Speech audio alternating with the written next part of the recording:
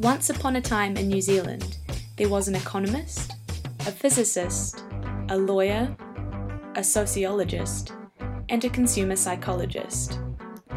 They were trying to understand why people got locked into certain patterns of behaviour in their energy use, even when it seemed logical to change.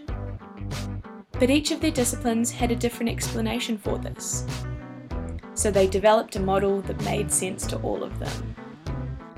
And it said people develop a distinctive energy culture from the interactions between their norms, what they think is normal or appropriate, their material culture, their technologies and infrastructure,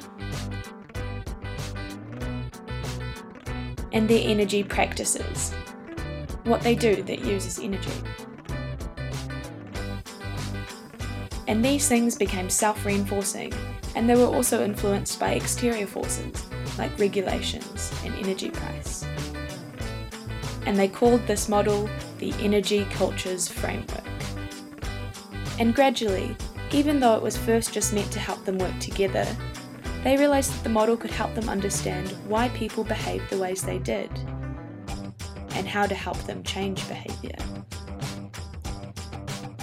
First, they applied it to households' heating behaviour, then to all energy behaviour in households in New Zealand, and they found clusters of quite distinctive energy cultures. Now they're using the model to help understand how transport systems are changing, to understand the energy culture of growing businesses, and to compare New Zealand's energy culture to other countries. And to their surprise, people all over the world thought the model was really helpful. And so the Energy Cultures framework became quite a new way of thinking about behaviour and change. And the Energy Cultures team grew to include many more disciplines, like philosophy, geography, IT, politics, education, and more.